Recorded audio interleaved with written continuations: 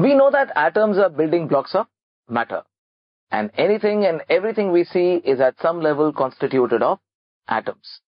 Now for long, Dalton's atomic theory was strong. But then there were a few question marks which led to the questioning of his theory. Now we can look at a few experiments ourselves. For example, if we take a piece of paper and tear it into smaller pieces, then take a comb rubbed on dry hair close to these pieces of paper, you will find that the comb starts to attract these pieces of paper.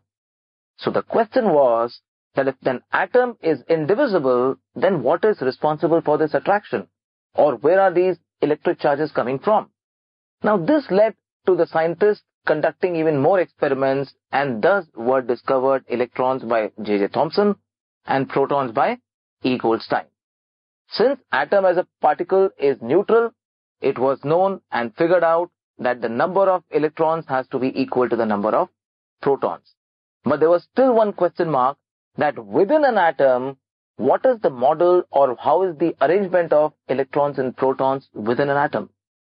Sir J.J. Thomson proposed a model similar to the model of a watermelon for this, wherein he said that the positive charge or protons were like a sphere, like the red edible part of the watermelon.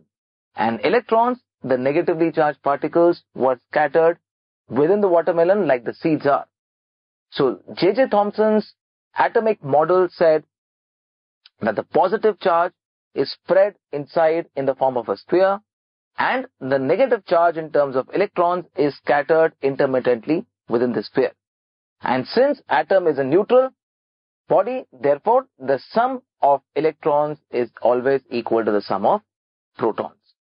So a model of an atom was thus proposed which gives us a broad idea in terms of the formation and the arrangement within an atom of the positive particles, the protons, and the negative particles, the electrons.